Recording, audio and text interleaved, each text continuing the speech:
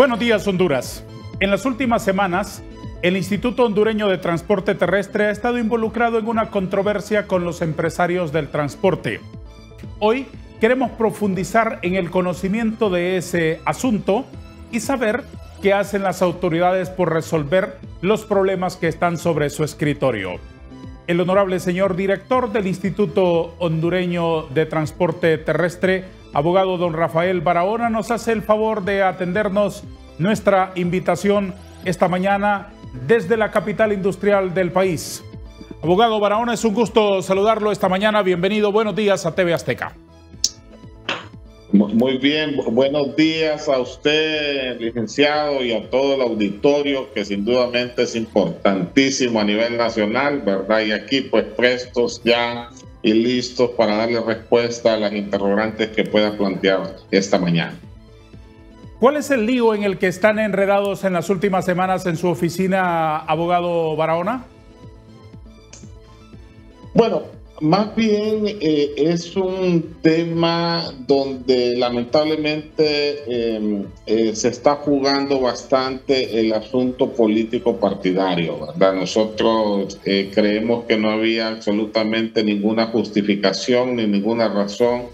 esto fue iniciado por la modalidad del transporte de carga y después consiguieron algunos aliados estratégicos ellos de otras modalidades, pero eh, no totalmente, ¿verdad? Sino que aisladamente algunos grupos de otras modalidades del transporte. Realmente no había ninguna justificación, digo que no hay ninguna justificación para hacer una asamblea con el propósito, imagínense, de exigir rotación, ¿verdad? Esto quiere decir que el trabajo que se está haciendo está bien porque no ha sido cuestionado en lo absoluto, sino que lo que a ellos les interesa es que haya otra persona dirigiendo los destinos del IHTT en virtud de que el instituto dejó de ser aquella institución que se dejaba manipular por algunos dirigentes del transporte. Estamos convirtiéndola en una institución completamente autosostenible desde el punto de vista financiero y estamos trabajando fuerte e intensamente por el proceso de legalización del sistema del transporte público a nivel nacional en todas sus modalidades.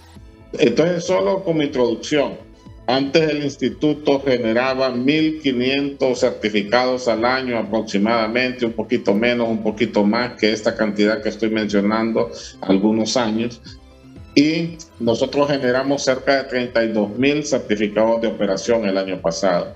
Esta institución recaudaba cerca de 30, 32 millones de lempiras al año y nosotros cerramos con 104 millones de lempiras el año pasado. Ya una vez que agarramos ritmo después del mes de julio en adelante, los ingresos no bajan de 12, 13, 14 millones de lempiras al mes y estamos seguros que este año los ingresos van a andar cerca de los 200 millones de lempiras. Es decir, que la institución va a ser completamente autosostenible desde el punto de vista financiero, ya no va a ser un parásito institucional ni una institución que está tirada en el fango y que depende del Tesoro Nacional para poder subsistir, sino que va a poder realizar sus operaciones completamente con los recursos propios que está captando a raíz de los diferentes servicios que está prestando y de las infracciones mismas que se generan cuando los transportistas, es decir, andan al margen de la ley. Si esas cosas incomodan a la dirigencia del transporte tradicional y sobre todo vinculada al Partido Nacional, porque se trata casi todos que han sido ex candidatos o, diputados actuales, incluso del Partido Nacional, metidos en el negocio del transporte, que quieran desestabilizar para nosotros el gobierno que preside eh, nuestra presidenta Xiomara Castro Celaya. Señor Barahona, ¿cuántos comisionados hay en el instituto? Somos tres comisionados que son nombrados directamente por la presidenta de la República. ¿Qué establece la ley en cuanto a la rotación de la coordinación, de la presidencia, de la dirección del mismo?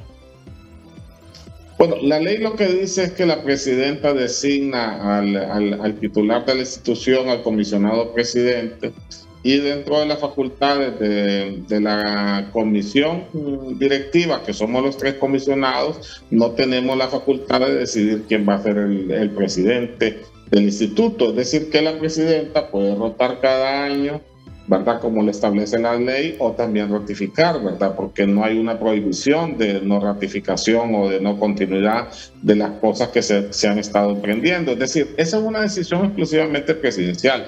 Y los tres comisionados lo que hemos hablado es que lo que vamos a hacer es respetar la decisión de la presidenta de la República. ¿La ley no establece una obligatoriedad en la rotación de la coordinación de su oficina?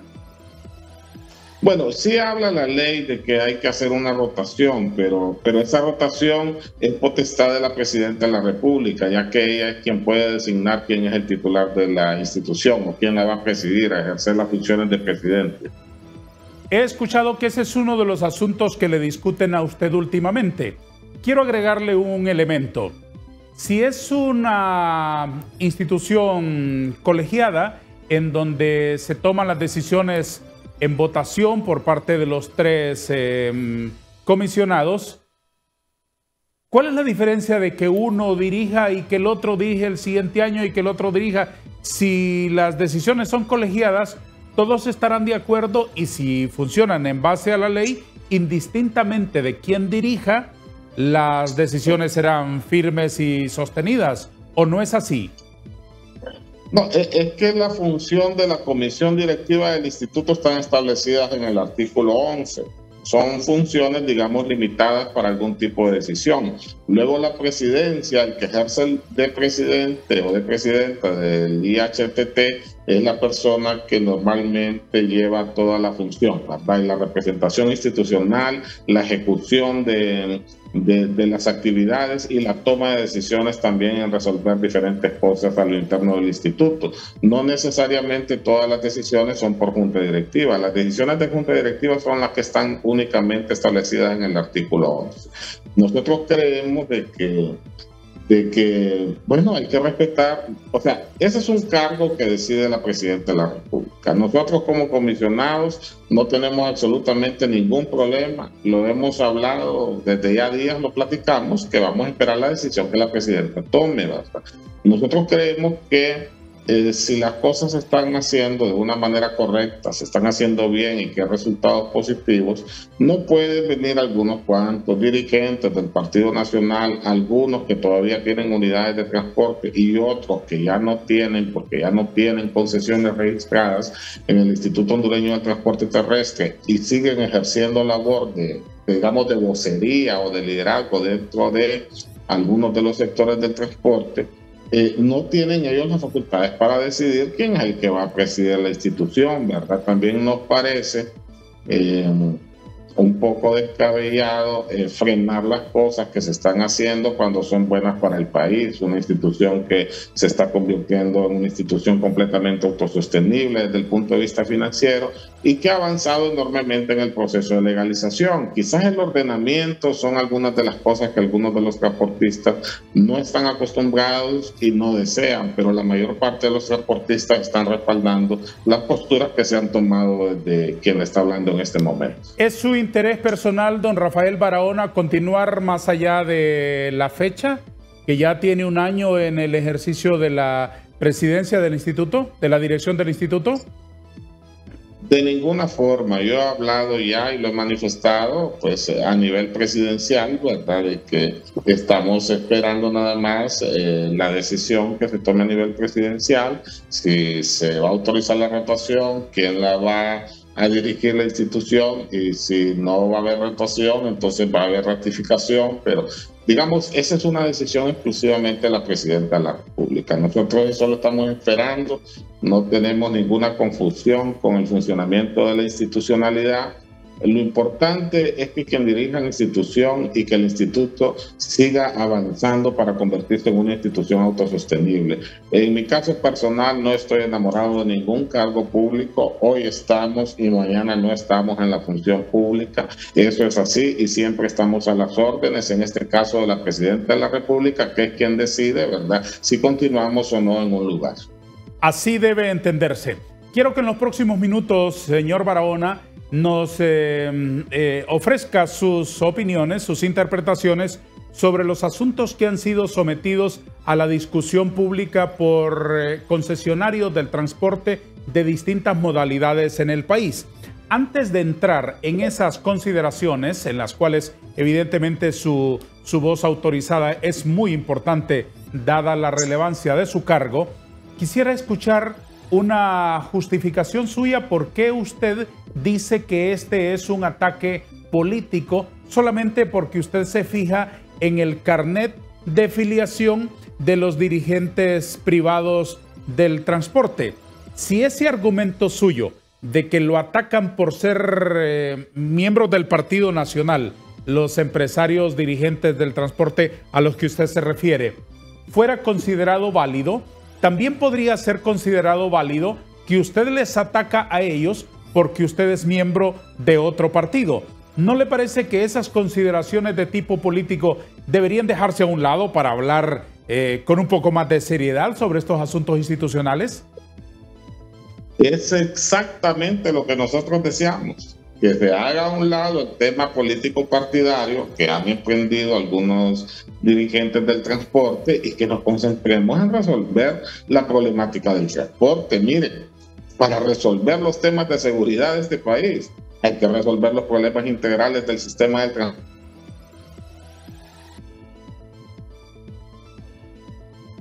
transporte público, del sistema del transporte público, económicos que terminan en manos de criminales que después le hacen daño al resto de la sociedad. Entonces nosotros podemos hablar objetivamente de, de, de los temas de transporte, pero cuando se dirige una carta con un montón de reclamos sin reconocer todos los avances del gobierno de la República el año anterior, ¿verdad? Se está faltando a la verdad. Entonces, como ellos hacen un planteamiento político, la respuesta que van a obtener es completamente política. Nosotros que queremos y deseamos que se aborden seriamente los temas, ¿verdad? En cada una de las modalidades lo hemos estado haciendo. Yo, por ejemplo, ando en la zona norte, no andamos de diversión.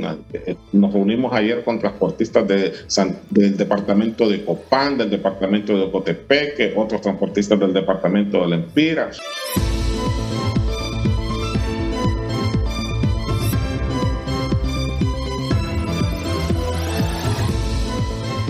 Don Rafael Barahona, comisionado, presidente o director, no al sé al fin cómo, cómo se llama su cargo, comisionado director, ¿verdad? Comisionado presidente. Comisionado presidente, suena, suena mejor presidente seguramente. Comisionado presidente del Instituto Hondureño de Transporte Terrestre, ¿cuáles han sido sus logros en el último año? ¿Puede hacerme una relación breve de los mismos? Bueno, ya mencionamos dos cosas importantes, la emisión de más de 32 mil certificados, eh, incrementar la recaudación a más de 100 ¿Por qué considera usted que emitir 32 mil certificados de operación es un éxito? ¿Qué es lo que pasaba antes que había menos y qué es lo que pasa ahora que incrementó tan notablemente esa cifra? Bueno, eh, cuando nosotros recibimos aproximadamente 150 mil vehículos que constituye el parque vehicular de todas las modalidades del transporte público, prácticamente el 99% andaban circulando solo con un documento de que tenían presentado un trámite ante esta institución. Entonces, los concesionarios históricos que, que, existen desde hace décadas en el país, en las diferentes modalidades del transporte, andaban circulando de la misma manera ilegal como andan circulando otros que se aprovecharon para meter un trámite al instituto, por ejemplo, y como el instituto no resolvía absolutamente nada, entonces andaban solo con lo que se llama un correlativo institucional, es decir, con un número de expediente. Entonces, en esa situación cayeron tanto los concesionarios históricos como los que querían o pretendían ser nuevos concesionarios. Y ese dejar de hacer institucional como vio el desorden, como vio el caos y como vio la ilegalidad del transporte en, los diferentes, en las diferentes modalidades, porque proliferaron sin ningún control y, y circulaban en el país o siguen circulando también en muchos casos solo con el documento de que tienen en trámite una gestión ante el Instituto Hondureño de Transporte Terrestre. Entonces, hoy ya, nos, ya andan por lo menos cerca de 30 mil unidades de transporte con sus certificados, con sus cartones, como lo dicen los transportistas, ¿verdad? Lo pueden portar visiblemente en su unidad de transporte y eso le garantiza a los inspectores, a las autoridades policiales o a las autoridades que lo requieran en los diferentes ejes carreteros de que son vehículos que efectivamente tienen un permiso para poder operar una modalidad de transporte público. ¿Por cuánto tiempo se extiende este permiso? ¿Por cuánto tiempo se extiende este permiso? Mire, ese permiso se extendía desde, tardaron en sacarlo 5, 8, 10 años, era la práctica ahí en la institución, ¿verdad? ¿Por qué tanto? O sea, una deficiencia absoluta, ¿verdad? Hoy en día, ahí lo llevo al otro logro, en transporte de carga, en transporte de carga ya tenemos renovación automática, es decir, que el transportista se presenta en la ventanilla, o el abogado, mejor dicho, el transportista se presenta a realizar la gestión con cinco documentos que se están pidiendo y el mismo día le estamos emitiendo el certificado de operación. Ahí mismo en ventanilla se le genera el aviso de cobro, se le manda su WhatsApp y al correo electrónico todo es que ellos vayan a pagarle al gobierno los derechos que le corresponden y regresan por su certificado de operación. Es decir, estamos reduciendo los tiempos de 8, 10 años, 5 años a un día. Explíqueme algo. De carga. Explíqueme algo, señor Barahona, discúlpeme la interrupción. ¿Por cuánto tiempo le conceden ustedes el permiso de operación? El, transporte público de carga dura tres años. Tres y años. El transporte privado de carga, que también están regulados en el sentido que tienen que solicitar sus respectivos permisos, es un año, dura un año. Muy bien, el hecho de que... Sí, continúe. No, que hoy el trámite lo van a poder realizar el mismo día. A ver, y, eso de, se les va a dar. y eso de hacerlo con mayor rapidez en horas, ¿no pone en riesgo que ustedes revisen y se aseguren de que aquello, por mucho que quiera agilizarse, no pierda la calidad de la supervisión que ustedes deben ejercer sobre los concesionarios? Los que están metidos ya en una base de datos que se ha ido depurando el año pasado, y pueden ser objeto de ese tipo de trámite, ya no hay ningún problema en poderlo hacer rápidamente y hasta con los ojos cerrados, porque se trata de la misma unidad de transporte que ha tenido un certificado de operación ya renovado, que no hizo cambio de unidad, que sigue siendo el mismo propietario. Es decir, hay ciertas condiciones que si no han cambiado no debe de haber absolutamente ningún problema, así como cuando usted va al banco a pagar la boleta de revisión de su vehículo, ¿verdad? Que es cada año, o sea, el banco se la da inmediatamente porque está seguro y confía en la información que tienen las bases de datos de las personas que, en este caso el IP, el registro vehicular. Entonces nosotros estamos conectados con el IP también, tenemos acuerdo de conexión electrónica y compartimos información de nuestras bases de datos, tanto nosotros les proveemos información a ellos como ellos a nosotros en el caso del transporte público.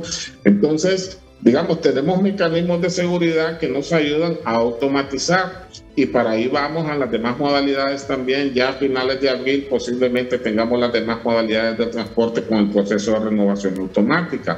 Eso no aplica para los trámites de primera vez o para el que quiere una nueva ruta o un nuevo número de taxi o un incremento de unidades a un permiso de explotación que ya tienen. No, esos van a seguir los procedimientos de dictámenes técnicos, de revisiones de campo y de los demás requisitos que exige la ley. En el caso de la renovación automática no debería de ser un problema.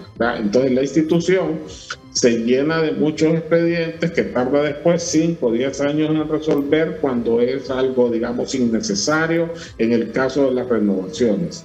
Nosotros, en la medida que vayamos depurando la base de datos en todas las modalidades del transporte, vamos a poder ser más efectivos. Eso nos va a eliminar también el tráfico de influencias y la corrupción que se puede dar, ¿verdad? Porque cuando las cosas no se mueven, y se, entonces la gente, los abogados y los concesionarios utilizan otras formas para poder resolver sus cosas. Entonces, en la medida que seamos eficientes, la corrupción también se va eliminando. El otro asunto del que usted me dijo sentirse orgulloso es del incremento del dinero recaudado. ¿Esto está en conexión con la entrega de certificados? En otras palabras, ¿cuáles son las fuentes de ingresos que tiene el Instituto Hondureño de Transporte Terrestre, señor Barahona?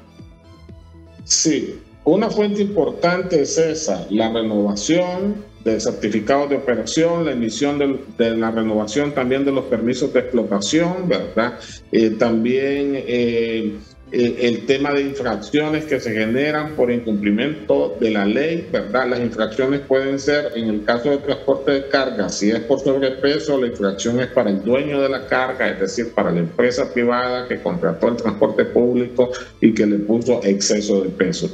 También pueden ser para los concesionarios de transporte cuando están violentando la ley, cuando andan circulando, por ejemplo, sin tener ni siquiera una solicitud de trámite de renovación ante el Instituto Hondureño del Transporte Terrestre, o cuando eh, violan alguna de las normativas que están establecidas en la ley de transporte terrestre, ¿verdad? En, en cada una de las modalidades de transporte varían el tipo de sanciones cuando hacen cobros inadecuados, inapropiados, por ejemplo, sancionamos eh, cuatro empresas fuertemente porque estaban cobrándole 100 dólares para el transporte de migrantes por un recorrido de Tegucigalpa o Cotepeque, ¿verdad? todas esas cosas el instituto las tiene que vigilar para garantizar que las tarifas que pagan los usuarios sean las correctas. Entonces, cuando hay eh, eh, violación a las normas que están establecidas y a las diferentes disposiciones y resoluciones del IHTT, se generan infracciones. Entonces, las infracciones que nosotros generamos el año pasado andan por alrededor de 39 millones de lempiras y cerca de 64 o 65 millones de lempiras por servicios en emisión de documentos de los cuales ya hemos mencionado. ¿Puede decir usted aquí esta mañana de cara a los usuarios y al pueblo hondureño en general que en su oficina no hay corrupción? Nosotros todos los días, mire, todos los días eh, procuramos estar hablando con los jefes, eh, supervisamos las oficinas del área de operaciones, que es donde se recibe la mayor parte de los trámites del instituto. Hablamos con los inspectores, con el encargado de inspectoría, que es el personal de campo, para que traten de tener un comportamiento ético y correcto. Nosotros ponemos nuestro mejor esfuerzo en eso. ¿verdad? Eh, en este momento yo le puedo decir que que nadie puede acusar de que en el IHTT se están haciendo cobros irregulares o que en el IHTT alguien está cobrando por realizar algún tipo de gestión o trámite, ¿verdad? Entonces, procuramos, vigilamos de que eso no suceda todos los días, ¿verdad? Pero eh, y, esa, digamos, es nuestra función institucional, ¿verdad? Pero meter las manos al fuego por el comportamiento de 400 o 500 empleados eh, que tiene la institucionalidad es difícil, ¿verdad? Pero sí, eh, en la medida de nuestras posibilidades estamos pendientes de que esto no vaya a suceder. Señor Barahona, ¿cuáles son los asuntos más importantes que ahora enfrenta su oficina? Bueno, mire, guardar un equilibrio en la relación entre el sector privado y el concesionario de transporte de carga es sumamente importante y valioso para la economía del país, para la prosperidad del país. Cuando nosotros recibimos esta institución, ya existía una ley que hablaba de una tarifa de 1.24 de dólar, Ya tiene casi 12 años esa ley de existir y nunca la pudieron aplicar los transportistas. Quizás el 1 o el 2% de los usuarios del transporte de carga, que son los empresarios, estaban reconociendo ese valor. Nosotros estamos seguros que el año 2022, con la reforma que se hizo en el Congreso Nacional para darle más impulso a la aplicación de ese artículo, pero también con la comunicación que hemos tenido con más de 300 empresas importantes del país mediante oficios y pláticas con muchos de los sectores a través de poder, de cámaras de comercio importantes, de portes, en Tegucigalpa misma o con empresas grandes, grupos empresariales grandes, hemos sostenido pláticas y diálogos a fin de generar conciencia para que se vaya eh, reconociendo esa tarifa que está establecida en la ley en el caso del transporte de carga. Nosotros sabemos, es difícil medirlo porcentualmente, pero yo me atrevería a decir que si antes solo eh, eh, la reconocía el 2 o el 5% de, del sector privado esa tarifa, yo le puedo asegurar que hoy andaremos en un 35-40% de empresas que responsablemente ahora están pagando esa tarifa. Pero hay que seguir trabajando, pues, pero en un año han habido avances importantísimos para el reconocimiento de esas tarifas. Hoy tenemos ya una unidad de verificación de pago de tarifas de transporte de carga también, que acude a las empresas pide pruebas, revisa documentos, pide evidencia eh, genera conciencia, lleva información de cuáles son las diferentes tarifas que se pagan en las diferentes zonas del país, dependiendo de las distancias. Y, y, eso ayuda a generar, digamos, una mejor comunicación con el sector privado.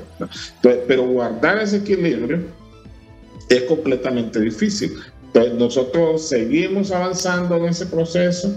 Eh, hay claramente un avance importantísimo en la cantidad de empresarios que ahora están reconociendo esa tarifa, ¿verdad? Entonces, ¿por qué detener esos avances? ¿Por qué no continuar con esa lógica, ¿por qué no seguirnos acercando para que las cosas mejoren para el transporte de carga? Afortunadamente el diésel ha bajado, digamos, en cantidad importante en las últimas semanas y eso también representa una, una mejora en el ingreso de los transportistas. Pero sí debemos de seguir cuidando eso, eh, vigilando de que esta relación se dé en armonía y que el país pueda avanzar, eh, digamos, eh, de, por el camino correcto desde el punto de vista económico. Y, además eh, estamos estableciendo mecanismos de control de pesos y dimensiones que eso también genera mucho más trabajo y mucho más oportunidades de trabajo en el sector transporte de carga, porque ahora en vez de cargar un carro con el doble de la capacidad para el cual fue diseñado, tiene que ir con el peso que está establecido en ley y en la normativa centroamericana que existe para esto y de la cual nosotros somos parte. Hoy tienen más trabajo, más fletes que realizar por un lado, ¿verdad? Y también las carreteras se están cuidando más, eh, quiere decir que va a haber eh, menos desembolso para el mantenimiento de las carreteras en el mediano plazo y que eso va a terminar en una mejor captación o utilización de los recursos de parte del gobierno, que en vez de estar manteniendo carreteras, puede también generar eh, eh, programas sociales de interés para el país.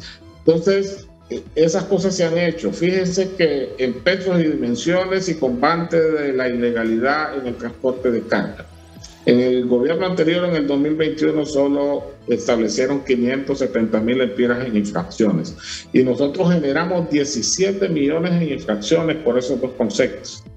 Y 13 millones le ingresaron ya al Tesoro Nacional. Los otros 4 millones pues, están ahí en proceso de eh, eh, por supuesto que los usuarios tienen, hacen uso de los instrumentos legales, impugnan las, sanciones que se les imponen y tienen que terminarse esos procesos de impugnación para que le terminen de ingresar al Tesoro Nacional esas, esos montos o sencillamente para desvanecer si nosotros nos equivocamos en la aplicación de alguna de ellas. Pero, o sea, pasar de 570 mil empiras a 13 millones recaudados quiere decir que fuimos 22 veces más efectivos que el gobierno anterior. Entonces, cuando alguien pone un dirigente del Partido Nacional de Transporte de Carga que ya no tiene camiones registrados en el instituto o por lo menos concesiones a su nombre, dice que no estamos haciendo nada, está faltando a la verdad. Pues nosotros hablamos con hechos.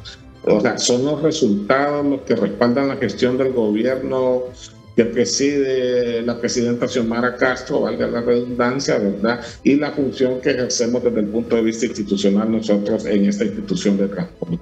Nosotros, eh, si hablamos en el marco de la objetividad, podemos avanzar seguramente para hacer grandes transformaciones. Es la última vez que interrumpimos la conversación con el comisionado presidente del Instituto Hondureño de Transporte Terrestre. Siga, por favor, en la sintonía de TV Azteca Honduras.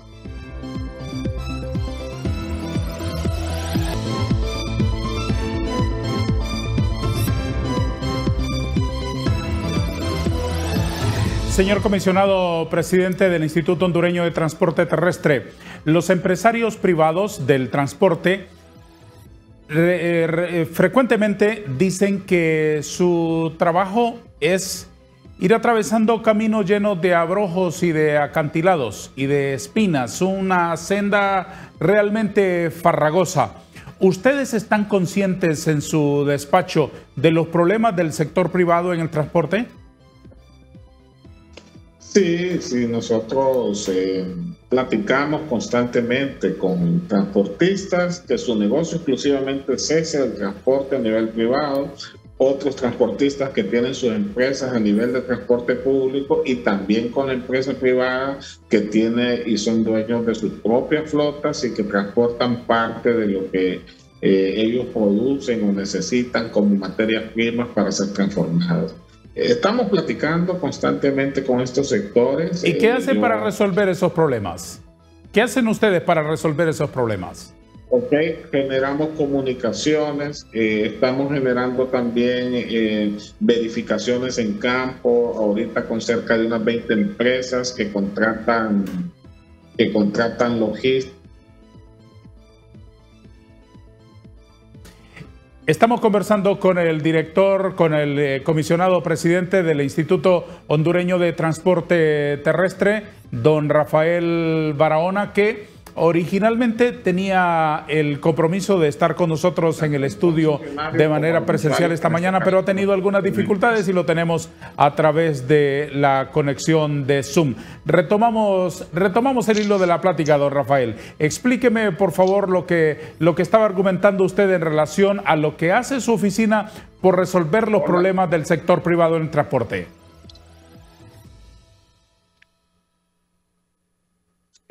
Por algún momento no, no, pude, no pude escuchar lo que se planteó, no tengo el retorno. ¿Me escucha ahora, don Rafael?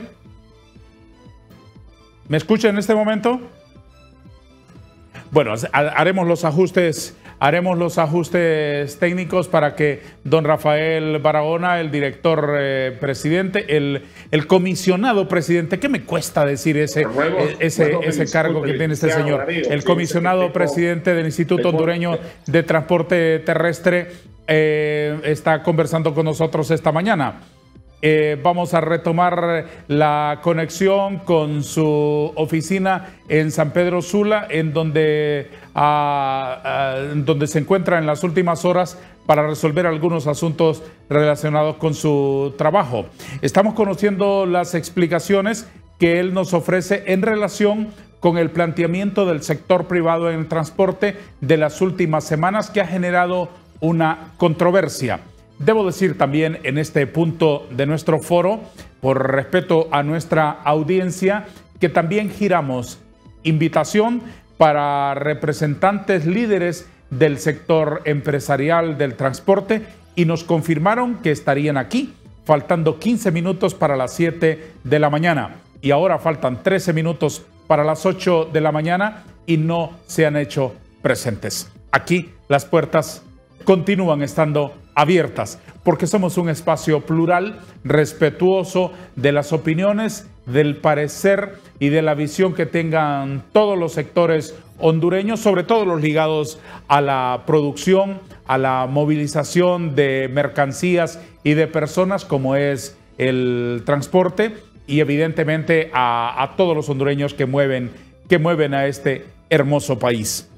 Esperaremos oportunidad para escucharles porque son un sector importante y han eh, planteado en las últimas semanas una lista de problemas eh, significativa que deben ser resueltos. Deben ser resueltos en la medida de lo posible, lo más rápido posible, por las autoridades del gobierno central. Por eso recurrimos a ellos también para escuchar qué es lo que hacen por resolver esta problemática. El sector transporte está representado en todo el país en distintos gremios. Hay sectores urbanos, hay sectores suburbanos, hay también de carga, de transporte de personas, hay distintas modalidades. Y el Instituto Hondureño de Transporte Terrestre tiene que administrar a través de una ley especial que fue aprobada hace algunos años en el Congreso de la República para que este sector tan importante para el funcionamiento del país pueda eh, desarrollar su trabajo eh, con la mayor eficiencia, con la mayor seguridad, con rentabilidad eh, considerable, evidentemente, y también, por supuesto, contribuyendo al desarrollo de Honduras. Retomamos la plática unos minutitos que nos quedan, don Rafael Barahona. Por favor, díganos ¿Qué es lo que está haciendo su oficina concretamente? Y ahora sí, ya con la limitación del tiempo, eh, eh, por favor, eh, haga el intento por abreviar sus respuestas. ¿Qué está haciendo su oficina para resolver los principales problemas que frecuentemente exponen los transportistas? Muy bien, en transporte público a nivel urbano estamos trabajando en el proceso de modernización. Aquí en San Pedro Sula posiblemente dentro de seis meses tengamos un, un, sistema de transporte completamente nuevo para la población, con unidades de transporte nuevas, con un sistema de recaudo novedoso que va a permitir que ya no se pague con dinero en efectivo y que de alguna u otra forma eso va a ayudar a que le llegue menos de ese dinero también en efectivo organizados del crimen en el país. Lo mismo en San Pedro, en Tegucigalpa, ya organizamos una comisión de modernización para trabajar en esa misma dirección y esperemos que a finales de año o principios del otro la capital también puedan contar los habitantes de la ciudad con un sistema moderno de transporte público de pasajeros. En el sector taxi estamos abordando seriamente el tema de los VIP, de los Uber, de las plataformas que existen privadas que prestan este servicio y ver cómo hacemos que el sistema de transporte de taxi tradicional pueda generar un servicio que sea superior a este y más efectivo, más eficiente, más cómodo, con unidades diferentes. Se está trabajando un componente también para adquirir unos 5.000 sistemas de gas para poderlos instalar y para que ellos puedan ser más competitivos en el sentido de que van a ahorrar, van a tener un ahorro importante en el consumo de combustible, ¿verdad? En esas dos modalidades del transporte que son los que más transportan, digamos, eh, pasajeros. Luego, como gobierno de la República, se va a constituir un fondo económico que le va a permitir a los transportistas readecuar deudas o invertir en nuevas unidades de transporte en cada una de las modalidades de que ellos operan a nivel de transporte interurbano, los transportistas de carga, por ejemplo, que ya necesitan en algunos casos renovar y,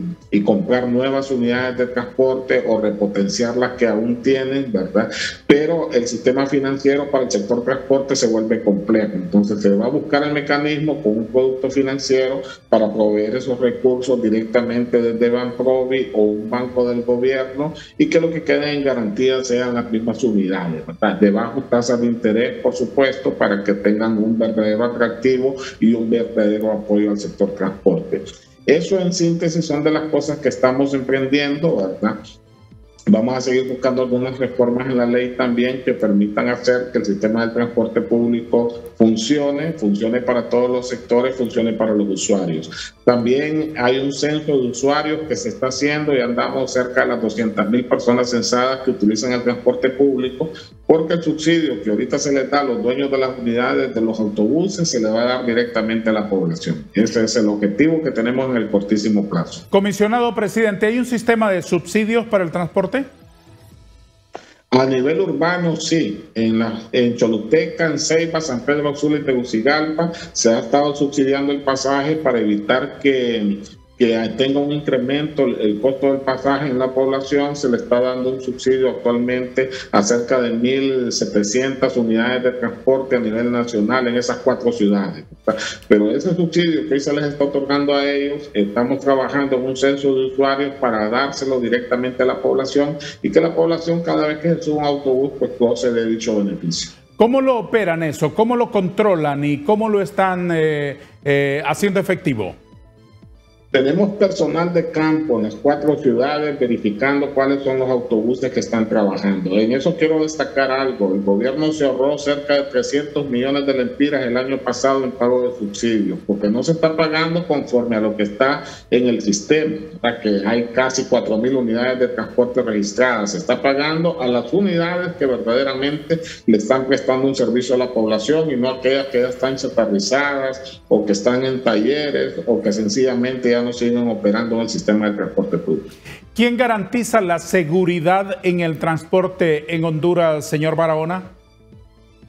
La Secretaría de Seguridad, pero con los eh, sistemas modernos de transporte que queremos impulsar en Tegucigalpa, San Pedro Sula, Ceiba y Choluteca, eh, estos sistemas de transporte también van a tener un componente importante de seguridad que va, por supuesto, a fortalecer el mecanismo que, de seguridad que ya tiene el Estado a través de la Secretaría respectiva. ¿El transporte de personas tiene precio preferencial en el combustible? todos, a todos, eh, tanto particulares como transportistas, cada vez que llegamos a una estación de combustible, nos estamos ahorrando 10 lempiras de un subsidio que otorgó la Presidenta de la República desde inicios del año pasado. Gracias, señor Barahona, por su entrevista esta mañana. Le agradezco mucho la gentileza de haber apartado una hora de su jornada laboral para hablar con nosotros. ¿Quiere dejarnos un mensaje final encapsulado en 30 segundos, por favor? Gracias a usted, eh, a los usuarios del transporte, son nuestra prioridad, los usuarios, la población, ¿verdad? Con los concesionarios, trabajar de manera objetiva. Ya estamos trabajando con muchos concesionarios a nivel nacional y nuestro propósito es transformar el sistema de transporte público para bien de los usuarios y para bien de los mismos concesionarios, ya que eso va a mejorar también su economía. Lo espero en nuestro estudio en, la, en una fecha próxima que su agenda lo permita, el señor comisionado presidente. Muchas gracias, muy amable por esta invitación y por, permitirme dialogar de esta manera franca y transparente. A usted también le agradezco muchísimo y que tenga un día exitoso y de mucho provecho. A todos, gracias. Adiós.